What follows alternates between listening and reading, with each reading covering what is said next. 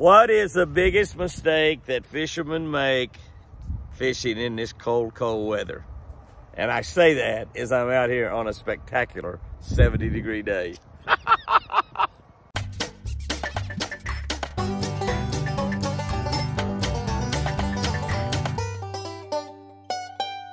Good morning, guys and girls. February 1, the first day of the shortest month of the year. Okay, did y'all ever get on to me about ragged on February? I got on to February, and all of you that had a birthday during February, or at least most of you that had a birthday during February, reminded me that you wouldn't be here had there not been a February. You were born on February. Some of you were born Valentine's Day, February 14. But uh, so, and so I I stand corrected. I stand corrected. February is a great month after all, a great month after all. But can I tell you, had there not been a February, had we just go to January to March, you still would have been born. Your birthday would have just been in March instead of February. But anyway, February is another great month. It's just like all the months. It happens to be the shortest.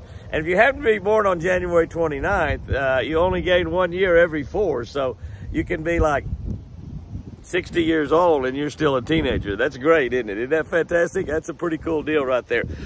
This is the, the fourth day of incredibly fantastic weather. Uh, 70 degrees, 68, 69 degrees, 72, 73 degrees, just a little windy, but we have a front coming that's amazing. In fact, I'm gonna have to, I'm gonna have to take off, uh, take off tomorrow and, uh, and, and head on over toward Caruthersville, Missouri for that big Grizzly Jig distributor show and get out in front of the ice and snow. We're supposed to have ice and snow uh, here over here on Lake Tenkiller, six to 10 inches down at the ranch, uh, maybe five or six or seven inches snow and ice.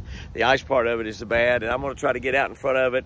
Actually spend one more extra day traveling just to make sure that I can be there at that distributor show on Thursday night and then be in Chattanooga on uh, Saturday night for our church appearance there on Chatt in Chattanooga. So, uh, Saturday night, I worked, worked Friday uh, at the distributor show and then Saturday night at the church. But uh, so it's shirt sleeve weather. It's fantastic weather.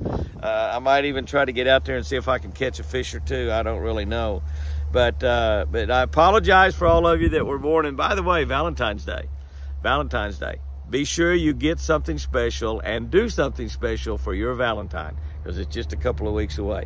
We're looking at First Thessalonian, reading out of our uh, Catch a Better Life book. This book will definitely make your life better. One of the best self-hook books you could books you could ever have because it starts the day out with a word from God. That word from God is from First Thessalonians 4.16 and it says, The Lord himself, that's Jesus Christ, will descend from heaven with a shout, with the voice of an archangel, and with the trumpet of God. And he's going to be bringing all of his angels with him. Here's what I wrote about that. This is pretty good. We used to start bass tournaments with a shotgun blast. That's right. and man, it was ever exciting. A guy would ride by in a big cowboy hat and he'd shoot a gun up in the air and everybody would take off. When that gun went off, 150 to 200 boats or more went roaring off in every direction. I've seen boats swamped. I've seen boats run together, bang together. Sometimes guys shoved their throttle down so hard when that gun went off, it broke their throttle off. They couldn't even shut their boat off. They just had to drive around till they run out of gas. And uh, I mean, it was exciting. It was exciting. Guys run together, crash together. And sometimes when you get on a lake like Lake Millwood, we took off down at the dam, which is a big, wide open body of water but they had boat lanes cut in the trees back then, and you had to go in these boat lanes, and they were about a mile or a mile and a half away to the first boat lane, two miles maybe. So all these boats are running as fast as they can and, and funneling down into that one boat lane that was about a, wide enough for three or four boats. And that's when it got exciting. That's when it got exciting. It was absolutely crazy. Uh, no other way to say it. And the crazy ones was the guy holding onto those steering wheels, driving those boats as fast as they would go. Fortunately, back in those days, we was limited to 150 horsepower motors, so they'd only run about 62 or 63 miles an hour, not 70 plus like we run today. In today's scripture is all about a shout that's heard around the world by billions. That's right, billions of people will hear Jesus when he descends and has that mighty shout. All over the world, all over the world at the same time, heard by billions. Basically, everyone living will hear that shout. That shout will bring fear, it will bring trembling to every single person on earth. But that will be quickly, quickly replaced by wonderful joy for those of us caught up in the clouds to meet Jesus. That's right. As I understand it, Jesus will not set foot on this earth. He'll simply descend down and then we will meet him in the air. He won't come down and say, okay, Jimmy, come on, you're one of mine. We will float up into the air and meet him. Uh, there's an old Christian comedian, I think his name was Mike Warnke, that used to talk about when the rapture happens. He said, the first thing I'm going to do when I start to rise is I'm going to grab me a couple sinners and I'm going to grab them and start carrying them with me. And I say, do y'all repent or do I turn loose? a lot of people will be repenting that day. A lot of people will be asking Jesus Christ that they're looking up into the sky at to save them. It'll be too late. It'll be too late.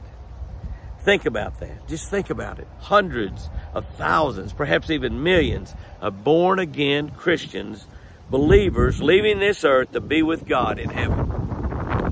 Just look up. They're everywhere. They're everywhere. We don't know the time or the date of that. When Jesus Christ walked the earth, he said he didn't even know. Only the Father himself knows that time, that date. But imagine the scene when Jesus comes back to earth with a mighty shout. Are you ready? Are you ready? That can happen any moment, any moment.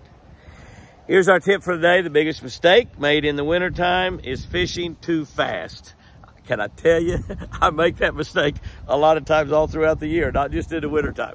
Fishing too fast. That's right. In the wintertime, slow down. Slow, slow, slow, slow, slow, slow down. We're taking orders for our Catch of the Better Life book. So if you want to order this book, uh, just give us a call at area code 918-457-5115 or go to jimmyhouston.com. Uh, we've sold uh, a lot of books already, uh, and they should be in just any day now. We'll start autographing, personalizing those books that you want personalized. If you want autographed, you want to sign, if you want to personalize to somebody, uh, be sure and tell us that when you order. Be sure and tell us. We can't read your mind. So let us know, and I'll be honored. I'll be honored to sign the book. Uh, we're so excited about this new book. It's already changing lives and creating a better life for folks. We know because they let us know that. Guys and girls, go out there and have you a great one today.